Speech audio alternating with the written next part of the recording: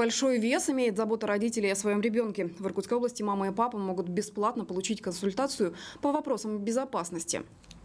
Для этого необходимо обратиться в Центр социально-психологической поддержки семьи и детства. Территория безопасности. Для этого не придется никуда идти или звонить. Проконсультироваться можно через Инстаграм. Адрес профиля вы видите на экране.